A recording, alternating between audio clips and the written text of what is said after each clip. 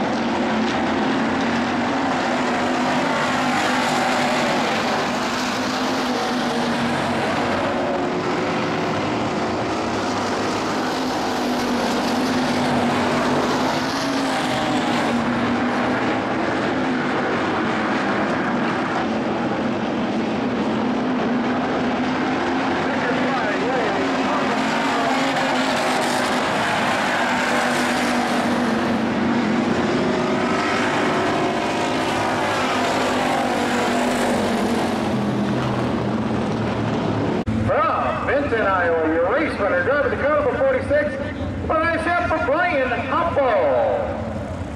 Amen. Well, the hard work's done. Now you're all set up for Saturday night, right? Yeah, man, I wish I would have had this, this good of a car down in Boone. I couldn't get the thing to turn, so pretty happy with it tonight. Got a nice fast car. I like the slick track. It's just working perfect. Track's going to get slicker and slicker over the next couple of days. We've got a lot of laps to run out here. It's going to get smoother. It's going to get wider. It's going to get slicker. And you're going to like it even more. You got that right. Give me a slick track. I love them. Congratulations. Good job, Brian. Thank you. Brian. Woo!